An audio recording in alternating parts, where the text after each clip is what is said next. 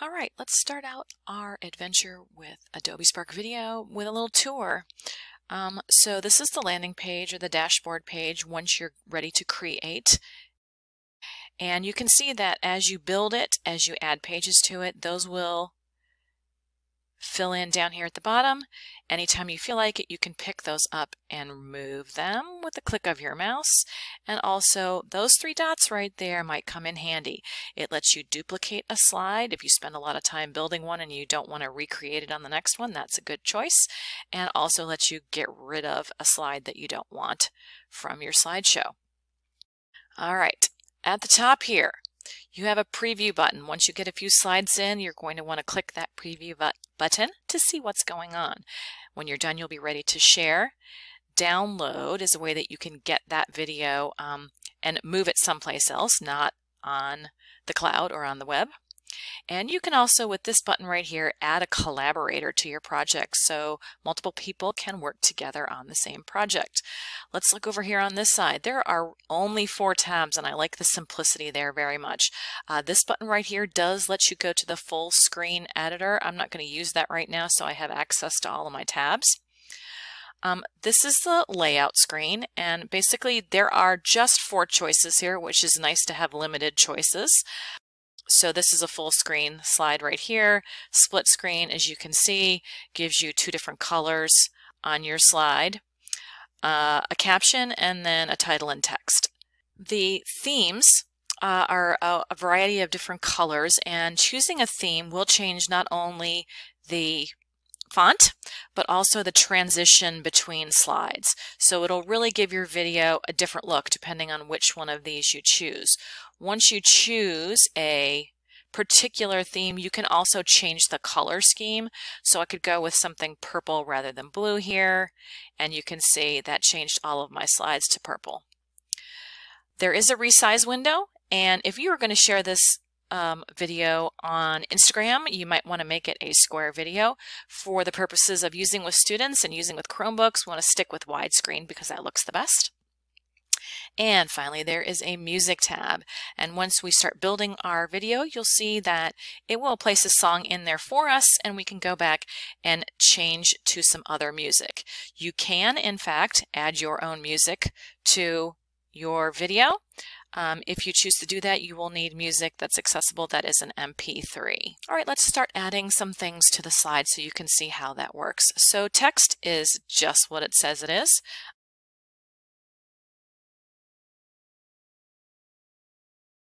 And let's add a new slide in. And you can see it follows the slide that I just created. It'll always come in that particular order. I can choose video and you can see if I click on video it's going to automatically start looking um, in at my machine here for an MP4. Those are the only type of videos that you can add to a Spark video movie. So if your students are using a Chromebook, um, they won't be able to make a video. So you'll be interested to know that you can now add video and pictures that you take with your Chromebook into an Adobe Spark movie. You didn't used to be able to do this, um, but now the format style is correct. So the way to do that is to click the plus sign, choose video, and you're going to upload your own video. So now um, it used to land in the downloads folder. Video now lands in a folder called camera. And so I'm going to choose this video that I shot just a couple of seconds ago. And you can crop the video here, like you can take the beginning and the end off of it. And then click save, and it's going to put that video into your Adobe Spark movie. All right, and there's my video in there. And now you can also add pictures that you've taken. So now I'm going to choose a photo. I'm going to go back to the word upload. And then again, it's in camera. And here's my image that I wanted to upload. And there's a picture that I took with my Chromebook camera. Again, you can make it smaller or bigger here. And we're all set. So if we push play,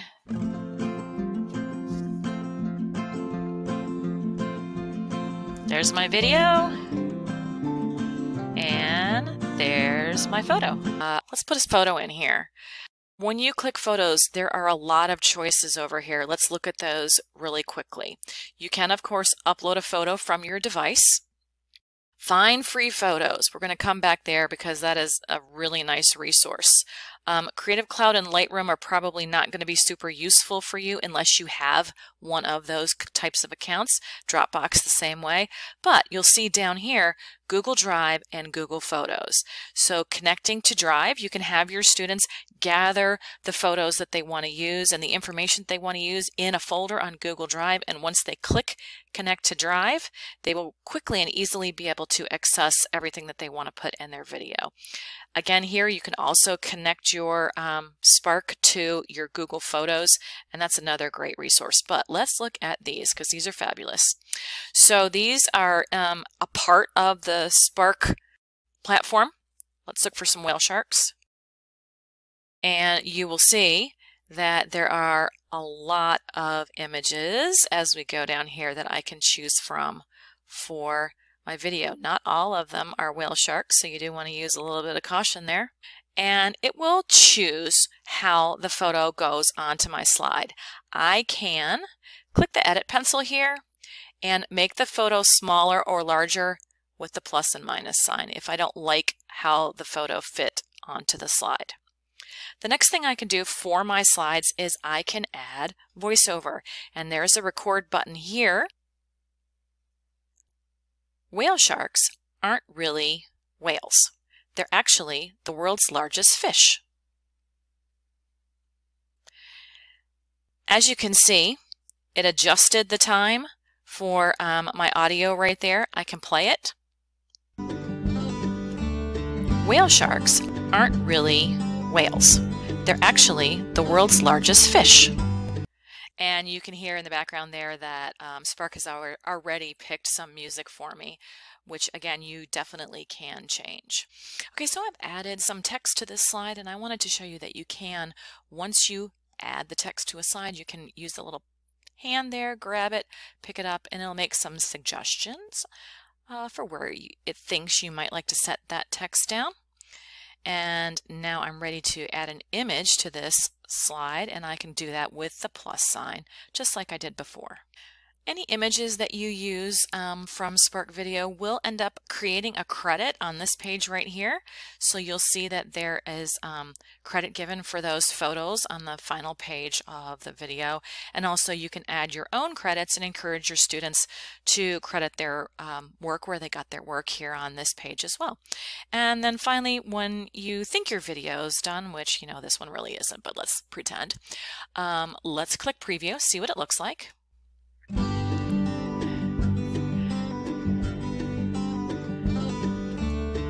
Whale sharks aren't really whales.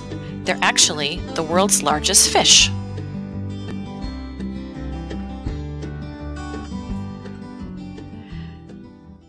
All right. Um, to close out a preview mode, you go to the X, and now I'm back in edit mode here. Uh, and I could choose to go over and look at the music tab and maybe change the particular music. You can, there's lots of ones to choose from over here. But when I'm finished with my work and ready to share it with someone, I click that share button and I click the word publish. You do need to um, give it some kind of a title and um, I generally do this and click create the link. And once you have a link, which will take just a minute to generate, once you have a link, um, that can be shared back with the teacher or it can be shared directly to Google Classroom. Okay, so we have our link created. I can just copy that and I can send that to the teacher from a student point of view. Or um, you as the teacher, of course, can connect with Classroom. And when you click that Classroom link, it is going to um, open up Google Classroom and generate a list of your classes so that you can pick and choose which class you would like to share that with. And to navigate back to the home page so you can start a new project, you go up here and it's kind of hidden until you um, hover over it, but you go up to the SP for Spark and you are back at your home page and ready to start a new project.